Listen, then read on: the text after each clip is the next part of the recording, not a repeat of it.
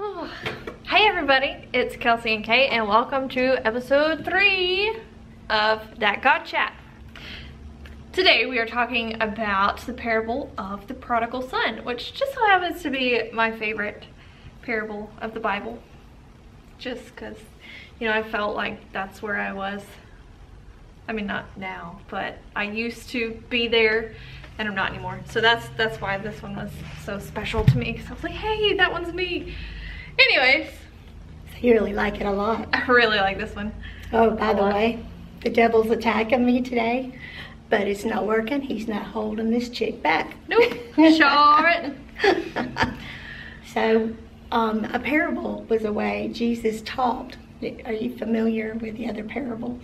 Yeah, most of them. And to me, it's kind of like stories with a moral. Mm-hmm. It's a story with a truth. And they really weren't intended to be understood by everyone. They were supposed to be kind of a puzzle that made your mind inquisitive to search out other truths that are in the Bible. That's so squeaky. Yeah, it's not. I'm going. girl. I'm good. so, um, would you like to read the story since Yeah. I'm squeaky? I, I'll read it for you. Okay, start with verse 11. It's Luke 15, verse 11 through 30. All right. Um, the parable of the lost son. Jesus continued, There was a man who had two sons. The younger one said to his father, Father, give me my share of the estate. So he divided his property between them. Not long after that, the younger son got together all he had, set off for a distant country, and then squandered his wealth in wild living. I almost forgot how to read. After he spent everything, there was a severe famine in that whole country, and he began to be in need. So when so he went and hired himself out to a citizen of that country, who sent him to his fields to feed pigs. He longed to fill his stomach with the pods that the pigs were eating, but no one gave him any. When he came to his senses, he said, How many of my father's hired servants have food to spare, and here I am starving to death? I will set out and go back to my father and say to him, Father, I have sinned against heaven and against you. I am no longer worthy to be called your son. Make me like one of your hired servants. So he got up and went to his father. This is my favorite verse in the whole Bible right here. It's one. But while he was still a long way off, his, his father saw him and he was filled with compassion for him. He ran to his son, threw his arms around him, and kissed him. Like, seriously, every time I read that, I tear up. That's my favorite verse in the whole Bible. The son- no, I'm good. the son said to him, Father. like you need a hug.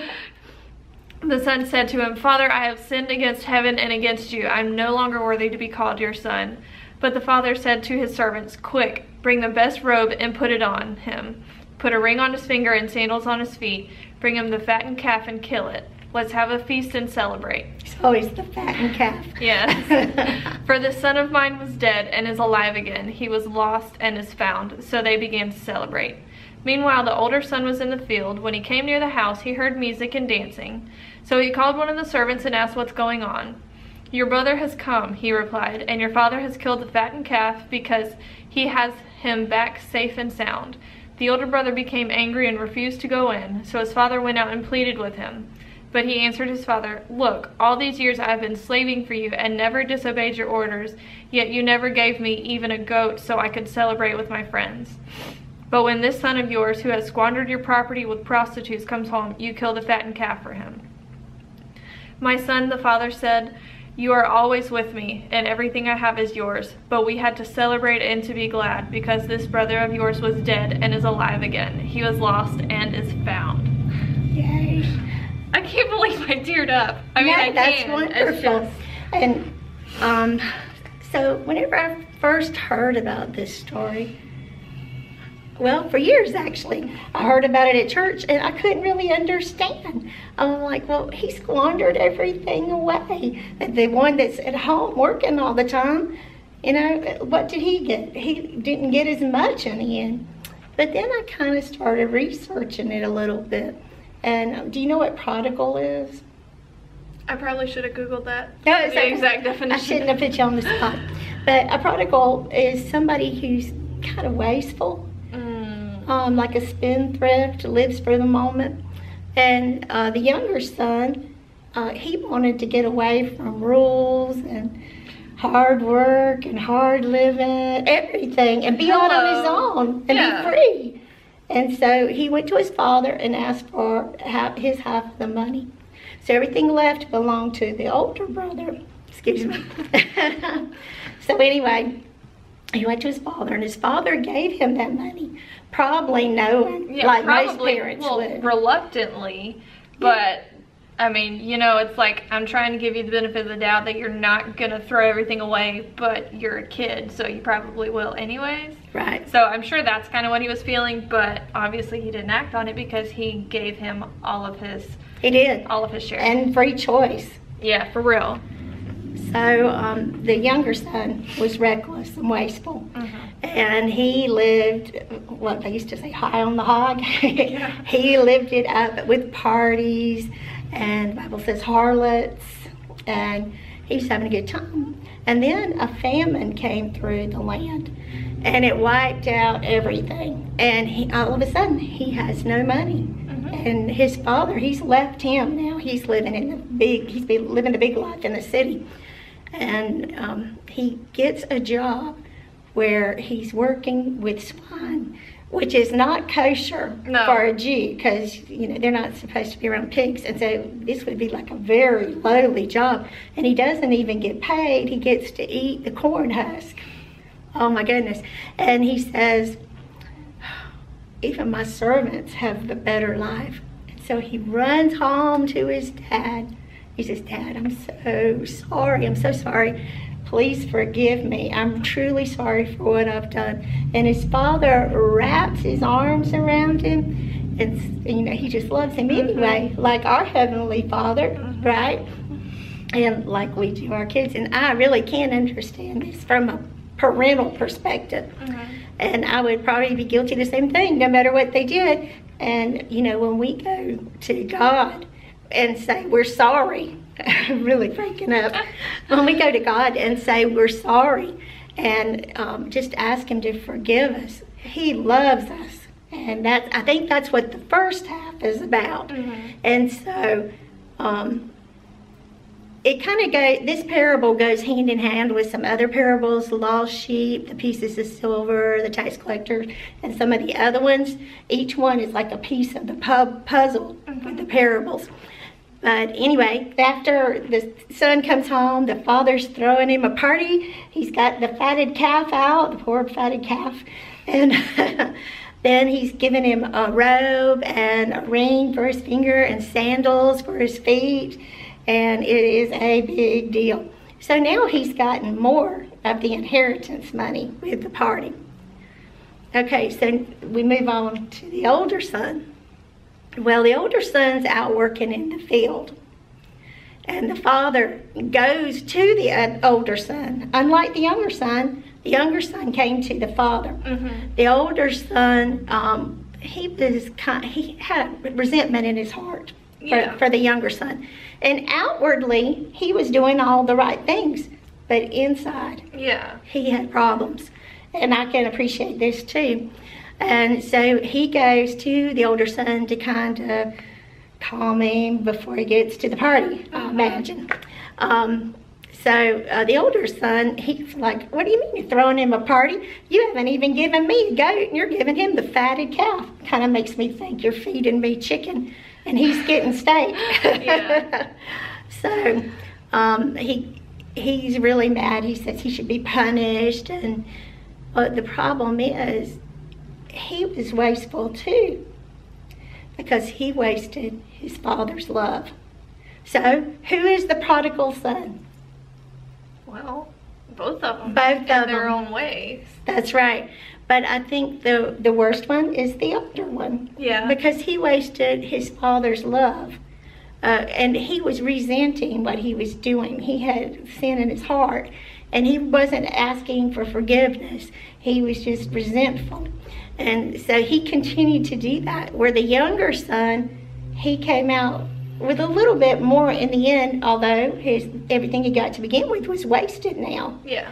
And so he comes out with more in the end, but or less in the end than he had at the beginning. But monetary yeah, and and physical and tangible things, he came out with less. that's right. But he really had more, and I think that's to me. Uh, this is a lesson about us and our relationship with God. Mm-hmm. What do you think? I, I do feel that way. Um, and one of the things that I was reading today about it when I was studying some more about it was like, and like in the middle of the parable, whenever he realized that they were getting treated better at his father's house, you know, he already had in his head the script that he was going to say, you know, Right. I'm not good enough to be called your son. Just let me be a servant. Let me work off what I squandered of yours. And then when he got there, like before he could even get it all out of his mouth, his dad was just like, No, you're here. You are not dead to me anymore. Come here. Let me love you. And that's that's how I feel like not that's not how I feel. That's how God treats us sometimes because you know when we do things that we know we shouldn't or we live a life that we shouldn't and then you know And he when you get it all in your head like okay well you know I'm going to go to church every Sunday I'm going to read my Bible every day I'm going to earn God's love that's not how it works No. at all like that's all you good. have to do is come to him and he loves you and he forgives you That's right. All that other stuff just builds your relationship Mhm. stronger. But if you're doing it with a resentful heart, Mhm. what purpose is it? If you feel like you, I've got to get up at five o'clock every morning and read the Bible for two hours, and after a while, it's just something you're checking off your list. yeah It- And Is that that's really that's not a relationship No. at all. That's just doing it to say you did it, and you know so, to get the credit by everyone around you that's watching you. But you don't need their credit or their approval or anything like that. It's all about Go in your closet and pray in your prayer closet. yeah. Yes. And also another thing. Oh, I read this. I read this today, and it made me so happy. So he ran to him, and back then it was indecent for the men to show their legs. Oh, So the fact that he had to pick up his clothes to run so he didn't trip on it, not only did that embarrass him, but he was trying to get there before the rest of the village saw him because they would have had this horrible ceremony that had some really weird name that had a whole bunch of Z's in it. Right. That people who had done that and they came back, they would like break this pot in front of them and pretty much excommunicate them from their community because of everything that they wasted, but because his father got to him first and you know showed everybody this is my son, he is back now, he is mine. Mhm. It it like solidified everything like you know what everything's going to be okay because he's home now. It So- makes me think of the first episode we did when I talked about the Talmud and how there were a lot of traditions.